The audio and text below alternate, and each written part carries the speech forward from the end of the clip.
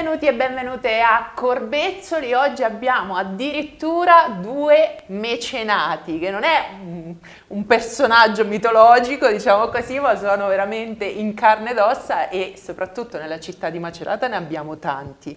Abbiamo oggi Rosario del Balzo Ruiti, lo dico proprio tutto al completo, e Giorgio Piergiacomi. Allora, raccontateci com'è questa esperienza? Ma diciamo che essere diventati mecenati è, è, essere diventati e rimanere mecenati nel tempo è un'esperienza estremamente gratificante. Eh, io non voglio togliere nulla al concetto dello sponsor, del sostenitore economico, ci mancherebbe altro, ma il mecenati ha un elemento in più, c'è il qui, quel quid, c'è quel valore aggiunto straordinario che rende la persona o l'azienda eh, partecipe di un progetto. Il progetto lo si vede nascere, il progetto lo si porta avanti, il progetto lo si condivide non per una stagione, lo si condivide nel tempo. Grandi nostri capolavori, grandi tesori nascono proprio da persone che hanno voluto far proprio un progetto, l'hanno metabolizzato, l'hanno fatto entrare nel loro cuore, nel loro sentire e lo hanno portato avanti nel tempo. E tu in particolare sei una mecenate della prima ora. Io sono una mecenate della prima ora e una mecenate doppia, fino adesso diciamo da poco, perché lo sono stata privatamente, e lo sferisterio eh, e la stagione lirica. Lo sferisterio in primis, diciamo, la stagione lirica in un secondo momento sono veramente nel mio cuore, nella mia formazione. Quindi quando mi è stata proposta questa opportunità di sostenere economicamente i progetti delle stagioni che si avvicendavano nel tempo, ho detto subito di sì. Lo sono stata in questi ultimi anni e l'ho sostenuta anche come presidente della Fondazione Carima perché ritenevo che fosse doveroso per un istituto che si occupa del benessere di tutta la provincia, di un territorio come quello della provincia di Macerata estremamente penalizzato, fosse doveroso sostenere lo sferisterio che non è di Macerata, una stagione lirica che non è di Macerata, che non è della provincia, che non è della regione, che è dell'Italia, che è di tutto il nostro contesto, è del mondo mondo perché abbiamo anche, e di questo dobbiamo essere estremamente grati, io ne sono soddisfatta come mecenate, vediamo anche venire gente dalla Cina, dall'America, da tutto il mondo. Quindi era doveroso. Dico sempre, si è mecenate un anno, non ci si può far condizionare nell'essere mecenati dal cambio di colore delle amministrazioni comunali, non ci si può far condizionare da una vicenda umorale propria e da un comune sentire anche relazionale. Se si è mecenati lo si è un giorno e lo si è per tutta la vita.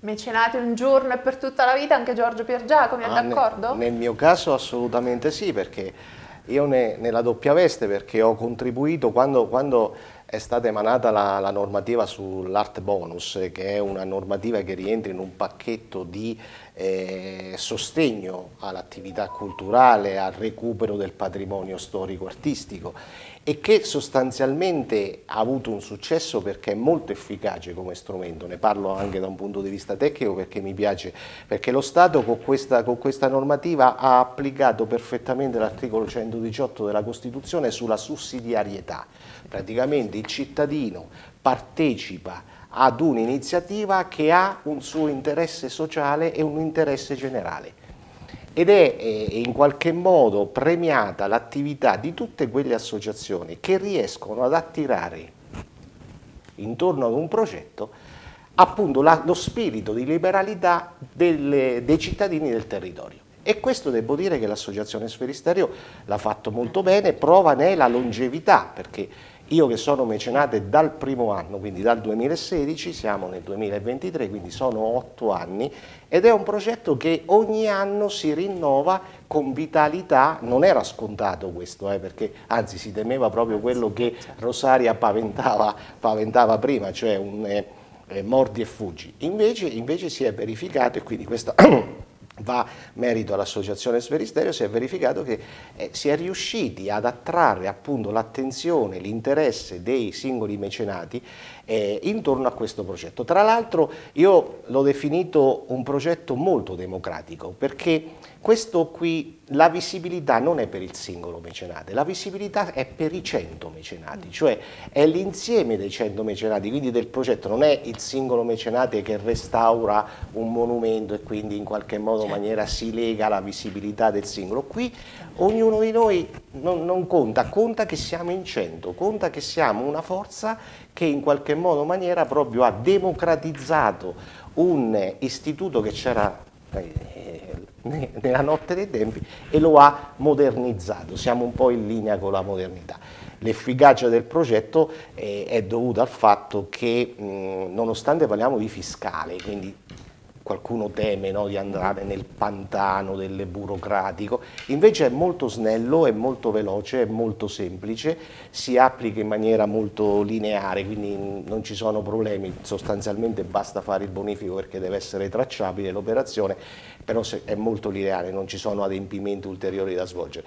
E inoltre, a differenza delle altre attività di crowdfunding, con l'art bonus c'è secondo me un tasso di trasparenza superiore perché chi dona, chi fa la liberalità sa dove vanno quei soldi, vengono certo. rendicontati, vengono messi nel sito sia artbonus.gov.it sia sul sito delle singole uh mhm. -huh. associazioni che fanno, che fanno, il progetto. Per cui ecco, credo che l'efficacia e l'efficienza del, del, progetto sia dovuto anche a questa semplicità. Ma e... oltre all'aspetto tecnico specifico, sì, sì. nel personale, che sì. cosa ti ha spinto? Ma mi ha spinto proprio quello che dicevo prima, cioè far parte di una squadra e svolgere un ruolo sociale sul nostro territorio, per la nostra città, sul progetto che secondo me maggiormente caratterizza la città di Macerata sotto l'aspetto culturale. Una chicca, freme, freme. una chicca, è così bello. Io quando ero piccolina e venivo trascinata, trascinata quando si è molto giovani, alla, agli spettacoli dai miei genitori, mi fermavo e mi facevano so, i cento consorti, questa scritta che campeggia sul frontale, che avevano edificato e realizzato lo sferisterio. In un certo senso è e risentirsi un po' con un trade union affettivo, sentimentale collegati a loro. Ci hanno regalato questo luogo assolutamente straordinario, unico, perché non lo possiamo paragonare nemmeno con l'Arena di Verona. Abbiamo delle specificità tali che ci rendono no, lo certo. sferisterio una cosa unica e quindi far parte, continuando a sostenere le stagioni, che ci possono piacere di più, che ci possono piacere di meno, possono essere più vicine alle nostre corde, possono soddisfarci di più perché delle opere ci piacciono un pochino di più, fanno parte di un immaginario magari che affonda le radici nella nostra vita personale, però tutte le stagioni vanno sostenute. È l'arte, è il sentirci vicino a un mondo che fa di Macerata una chicca d'eccellenza nel territorio.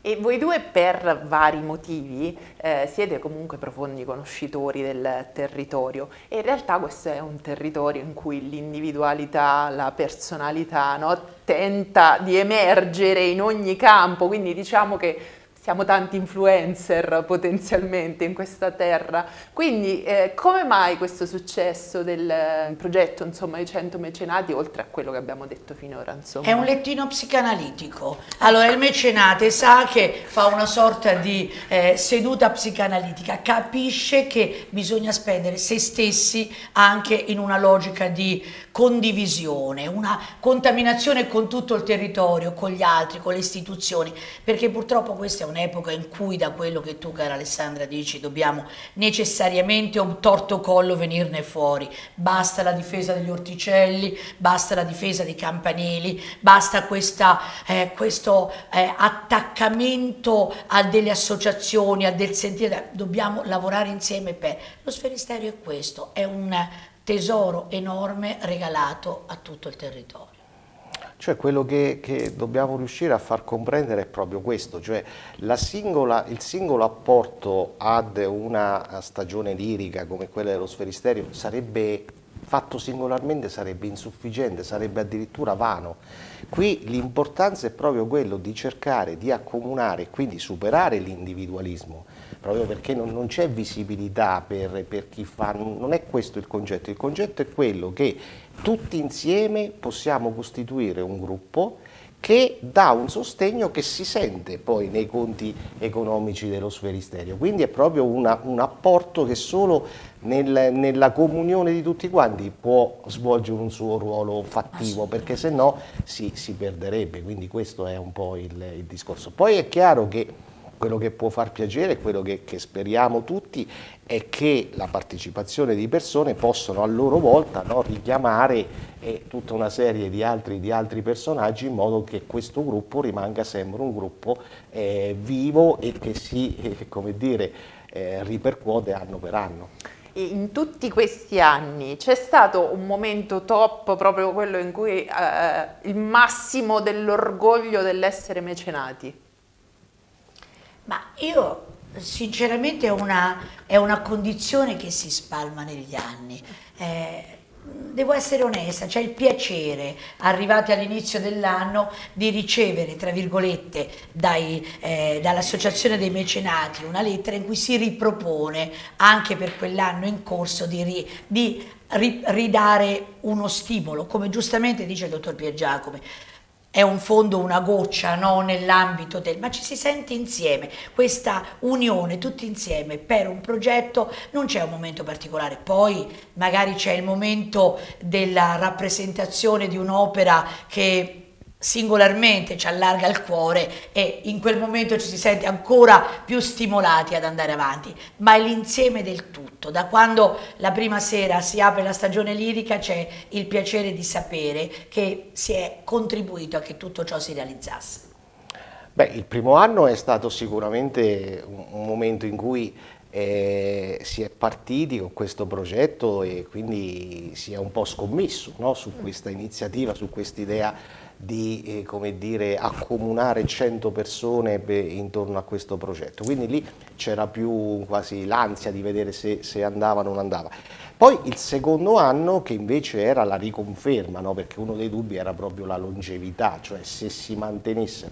Ecco, vedere che una grossa percentuale dei, dei diciamo, mecenati del primo anno si riconfermava nel, nel corso degli anni, eh, sicuramente eh, ha fatto sì che questo progetto allora prendesse piede e prendesse soprattutto sostanza. Poi sicuramente l'orgoglio quando il progetto è stato anche premiato a livello nazionale, perché di progetti art bonus ce ne sono, ce ne sono stati tanti, continuano ad essercene molti, però eh, questo qui è stato un progetto assolutamente, forse per le sue caratteristiche, per richiamare veramente la democraticizzazione del progetto, forse è stato anche il primo o uno dei primi insomma, in Italia, quindi ecco questo sì, un po' d'orgoglio su questo c'è sicuramente.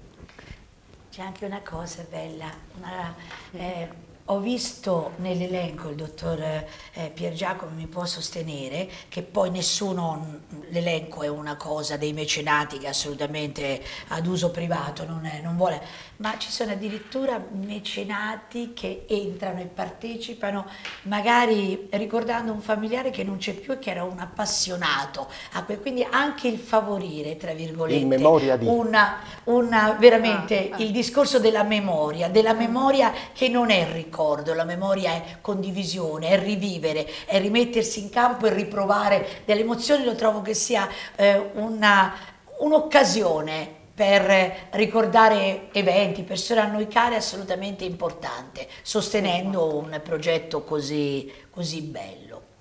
Quindi non è mera burocrazia, non è mero fiscalismo, ma invece è tutt'altro, molto di più, cioè soprattutto per, per, dei singoli cittadini non è sicuramente assolutamente, eh. penso che la molla non sia quello. Devo dire la verità, per le istituzioni c'è anche quello come elemento che non è da sottovalutare, io lo dico come da ora ex presidente di Fondazione Carima, ma era un elemento in più da portare eh, nei consigli di amministrazione, perché comunque il risparmio con il credito d'imposta che si accumulava era un volano per poi poter, un moltiplicatore economico, poter magari utilizzare quel risparmio per certo. investire e sostenere altri progetti. Quindi da commercialista lo consigli? Sì, sì, sì, nel senso che, ripeto, è uno strumento che riesce a coniugare da un, da un lato un risparmio fiscale eh, non indifferente, perché il 65% è due terzi del, e dall'altro però ecco, incentivare il ruolo sociale dei singoli cittadini delle imprese sul territorio. Bene, siete stati molto convincenti, quindi magari faccio una valutazione anch'io finita la puntata e ringraziamo tutti i nostri amici e amiche di Corbezzoli per essere stati e state con noi. Vi ricordiamo che questa puntata è disponibile anche su tutte le piattaforme podcast e grazie a tutti. Thank you.